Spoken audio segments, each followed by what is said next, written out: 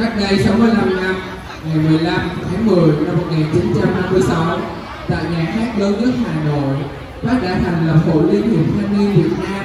Người từng đó một năm khởi đầu từ mùa xuân, một đời khởi đầu từ tuổi trẻ. Tuổi trẻ là mùa xuân của xã hội, đó là niềm vinh dự, tự hào của thanh niên Việt Nam. Vì vậy, mỗi đoàn thanh niên hãy cố gắng nỗ lực hơn nữa để hoàn thành xuất sắc các nhiệm vụ Việt Nam xứng đáng với niềm tin của đảng, của nhân dân, góp phần xây dựng đất nước ta ngày càng khang trang, giàu mạnh hơn. Vậy, trong giai đoạn mới hiện nay, đoàn viên thanh niên chúng ta cần phải làm gì? Một phần phát huy tinh thần tự học, tự rèn luyện, trao dồi kiến thức, tiếp thu sáng tạo các thành tựu về khoa học kỹ thuật khi còn ngồi trên ghế nhà trường. Người Việt Nam có truyền thống thông minh, gần cù, chịu khó, thanh niên cần phát huy truyền thống và lao động.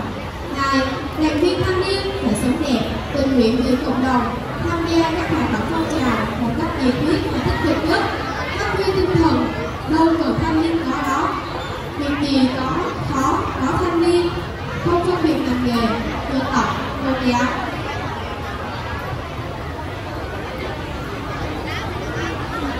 Đất nước này là của chúng ta, bầu trời này là của chúng ta, do ta làm chủ, bởi vì hãy cố gắng một ít, chúng ta sẽ tốt hơn.